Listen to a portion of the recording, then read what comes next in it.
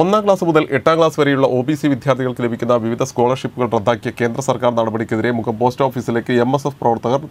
പ്രതിഷേധ മാർച്ച് സംഘടിപ്പിച്ചു തിരുവമ്പാടി നിയോജകമണ്ഡലം കമ്മിറ്റിയുടെ ആഭിമുഖ്യത്തിലായിരുന്നു മാർച്ച് മാർച്ച് മുസ്ലിം ലീഗ് സംസ്ഥാന secretary C P Cheriya Muhammad ഉദ്ഘാടനം ചെയ്തു എം എസ് എഫ് നിയോജകമണ്ഡലം പ്രസിഡന്റ് ഹർഷിദ് നൂറാന്തോട് അധ്യക്ഷനായിരുന്നു എം എസ് എഫ് സംസ്ഥാന പ്രവർത്തക സമിതി അംഗം എം ടി മൂസിൻ മുഖ്യപ്രഭാഷണം നടത്തി മുസ്ലിം league Karassery panchayat president K Koya youth league മുഖ municipal president Sharif Annakkode youth league